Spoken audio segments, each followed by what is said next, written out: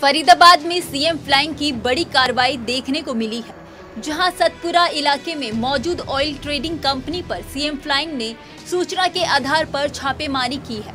वहीं पैकिंग किए जाने वाले राइस ऑयल, मस्टर्ड ऑयल और तिल के तेल के सैंपल लिए जिन्हें जाँच के लिए भेजा गया है। और साथ ही सीएम फ्लाइंग एसीपी ने बताया कि जिस कंपनी में ऑयल पैकिंग की जा रही थी, उस कंपनी का लाइसेंस उस स्थान का नहीं था।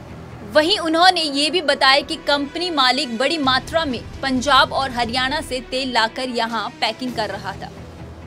सावित्री ट्रेडिंग कंपनी है यहाँ तिगांव रोड पे फरीदपुर के बाद सतपुरा के पहले।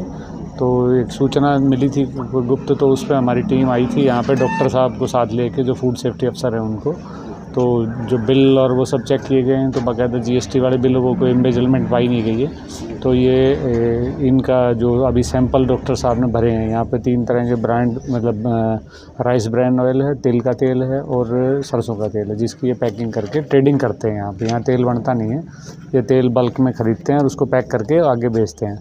तो उसमें वो सैंपल भरे जा रहे हैं तो उसमें डॉक्टर साहब सैंपल भेजेंगे लैब में, आगे जो भी रिपोर्ट आएगी, कार्रवाई होगी वहीं इस मामले में गोदाम मालिक ने क्या कहा जरा सुनिए।